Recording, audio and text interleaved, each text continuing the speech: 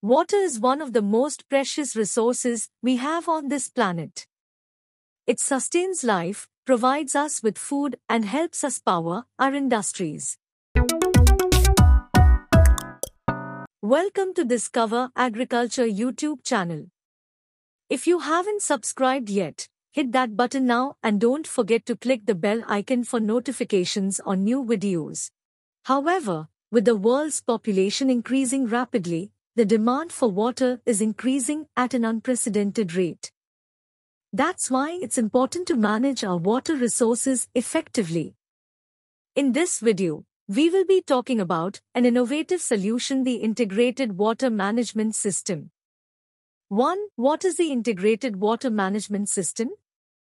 The Integrated Water Management System, or IWMS, is a comprehensive approach to managing water resources. It involves the integration of various technologies and strategies to ensure that water is used efficiently and effectively. 2. Rainwater harvesting. One of the key components of the IWMS is rainwater harvesting. This involves capturing rainwater and storing it for later use. This not only helps conserve water but also helps reduce the demand for treated water. 3. Wastewater treatment. Another important component of the IWMS is wastewater treatment. The system involves the treatment of wastewater to remove contaminants and make it safe for reuse. This helps reduce the demand for fresh water and also helps prevent pollution of our water bodies. 4. Smart irrigation systems. The IWMS also includes the use of smart irrigation systems. These systems use sensors and weather data to determine the optimal amount of water needed for plants. This helps prevent overwatering and ensures that water is used efficiently. We desalination plants. In areas where fresh water is scarce, the IWMS also includes the use of desalination plants. These plants use advanced technology to remove salt from seawater and make it safe for drinking and other uses.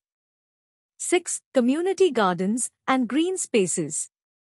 Finally, the IWMS encourages the use of community gardens and green spaces. These spaces help reduce the demand for water by promoting the use of native plants that require less water. Conclusion By integrating all of these strategies and technologies, the IWMS ensures that our water resources are managed effectively and efficiently. This helps ensure that we have access to clean water for generations to come. Thank you for watching. We hope that this video has helped you understand the importance of the integrated water management system. Let's all work together to ensure that our water resources are managed effectively and efficiently. We hope you found this video informative and engaging. If you enjoyed this video, give it a thumbs up and share it with your friends. And don't forget to subscribe to our channel for more fascinating insights into the world of agriculture.